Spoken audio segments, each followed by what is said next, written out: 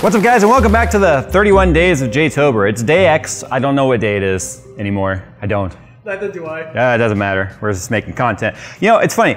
It gives us an opportunity to talk about interesting things that we wouldn't otherwise like burn a video slot with. Um, you guys remember when we did the 780 Ti like trying to fix it video that unfortunately, no spoiler alert. I guess I just spoiled it. Doesn't matter. I showed you that Brian with BP Customs also, or BPS Customs also sent me this ATI. It even says it right there. ATI predates AMD. This November 2009 model of the HD 5970.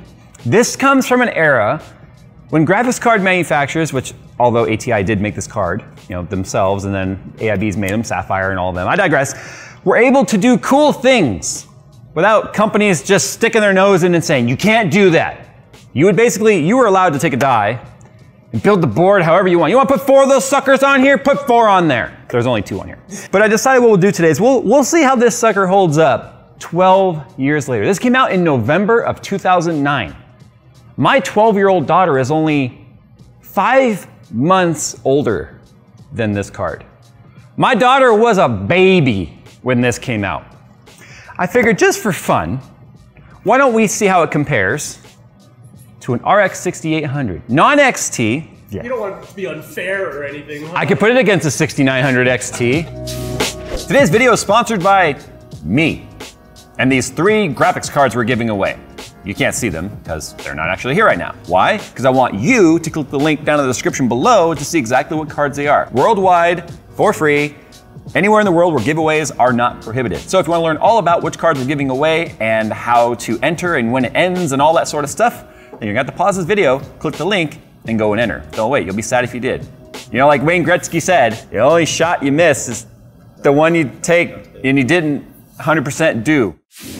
Let's do some quick like paper comparisons, shall we? GPU named Hemlock. GPU variant in here is the Hemlock XT.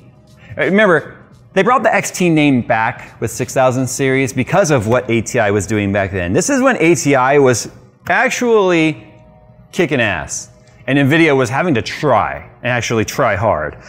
Um, 40 nanometer process in there. To put it in comparison, the GTX 295, which was just being literally slapped around by this card, was a 55 nanometer process. We're in 7 nanometer today. So if you want to talk about transistor density, all right, this has 2.1 billion transistors in it. To put it in perspective, the, RT, uh, the, RT, wow, the GTX 295 has 1.4. Die size 334 millimeters squared.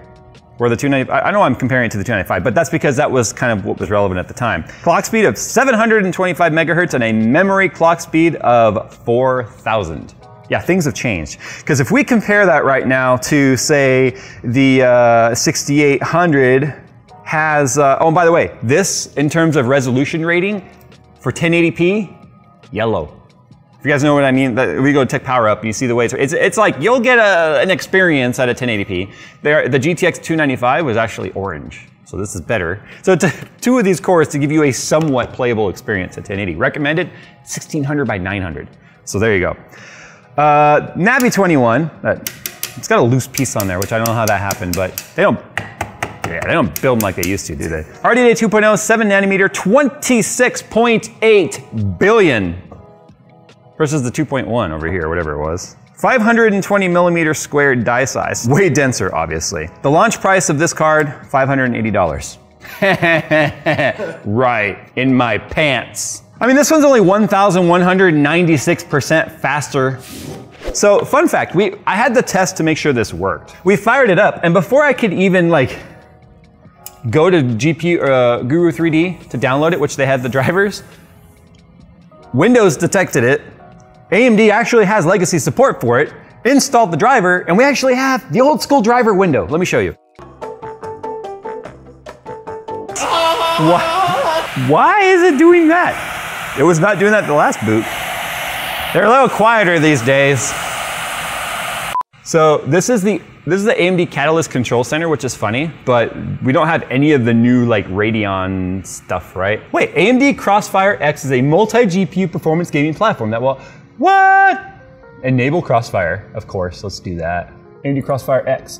Boom! Two cores too fast. Too nat, too nostalgic. Two. so obviously, any comparison that we do is going to be with Crossfire on where available. I, I think we're only going to compare it to something like Fire Strike. Woo! Look at that sucker. So big. What resolution are we even in? This 10. I was at 1090 by 1980. Immediately over? Oh, Jesus. Ah. Okay, okay, okay, okay, stop. I only did 25 megahertz and the screen was like, ah, ah, ah. 735. Click. Ah. Okay, okay, okay, okay, okay, okay. Ah, you're gonna friggin' murder this thing before we get it to Why? What is happening?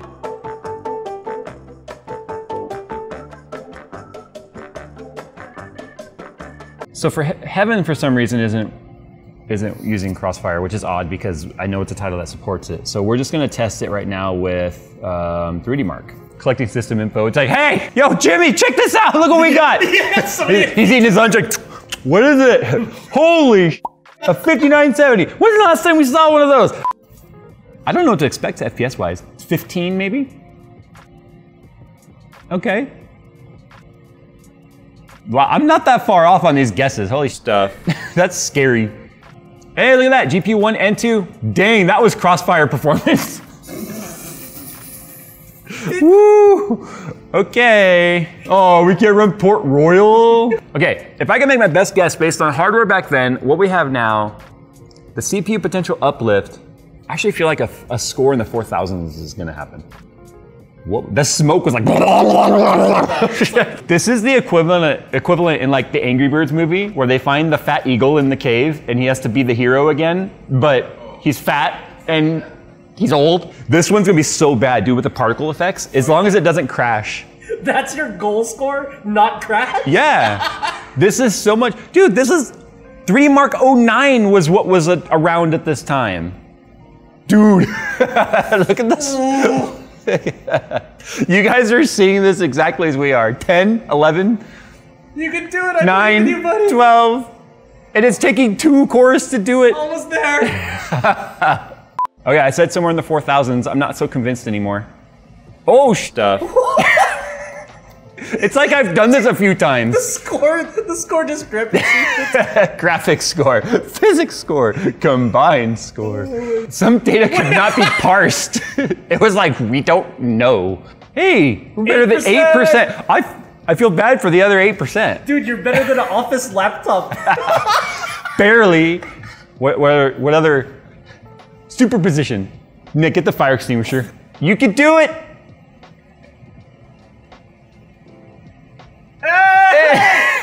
oh my god, it's ray tracing. I'm so surprised that it's even going. We'll get the, the superposition score, and then I'm gonna play a game of Rocket League with this card. And then off camera, we'll just run the 6800, and then we'll show you guys on charts what, how it compares. I mean, I think it's gonna be like, beep, beep. What? I would take a 1060 over this card right now. yeah, it'll be like four times faster. Okay, 1060. Good to know. Let's uh, let's write that down. So. Oh, it was crossfire. There's two GPUs detected. What? Yeah, no, I don't think so, because SLI doesn't work in that test. What? Okay, maybe it does. It's 10 FPS in crossfire. Oh my god. Dude, the temps though, maxed out at 69 on one and 54 on the on the other one. So we're running at 1920 by 1080 in Rocket League, and remember, this card, that one over there, was not recommended for 1080p. So why not just go into a comp 1v1? We can go cop. Why not? I don't care about my account. yeah. That was. Oh, I got there a little too fast. Yeah. Oh, you wanted a Wow, 90. I really won that kickoff. There we go. Oh, he left it. Okay. He's baiting me. Oh no. Nope. Right over his head. Yeah. Let's go. Adapt, overcome, defeat. It's a little stuttery. Like there's a few stutters every now and then. Over his head. Bump him. And get in there. Woo! Let's go. I had to call it out loud so it didn't look like luck. Look, I was like, no, you don't. Get out of here. Give me that bad. and flip over his head. He's watching it. Crossfire!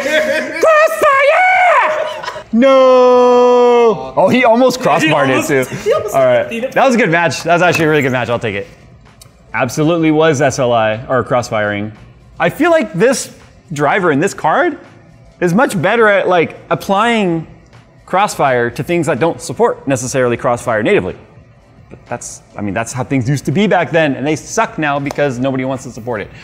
All right, but you know what we gotta do now? We're gonna throw the 6800 on here, and we're just gonna, for lulls, make our own little graph of what it looks like, starting at scale zero to max.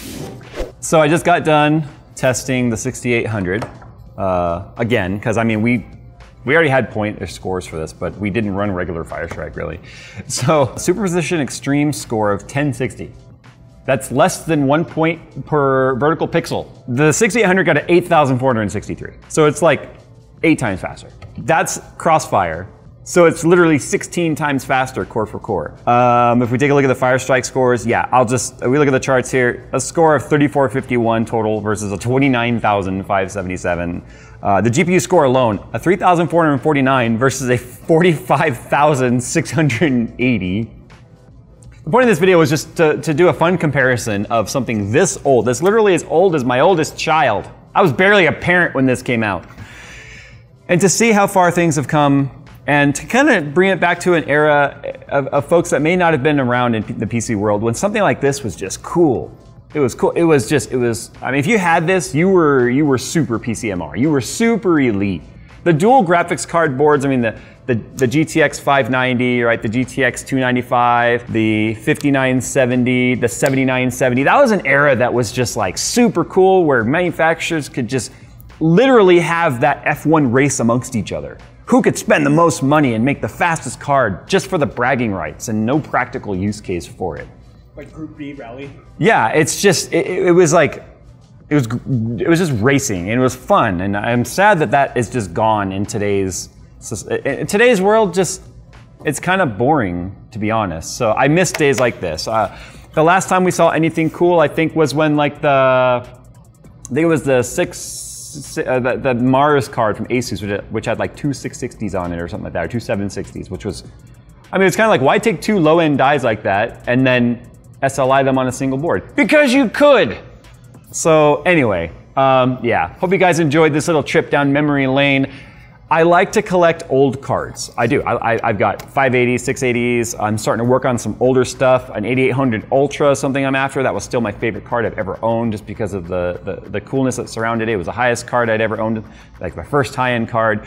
So huge thanks to Brian at BPS Customs from uh, for sending this to me to take a look at and add to my collection. So if you guys have any old cards that uh, maybe you're willing to let go of, um, hit me up. Maybe we'll make a deal. Anyway, guys, thanks for watching. And as always, we'll see you in the next one. And don't forget, subscribe. 31 Days of J.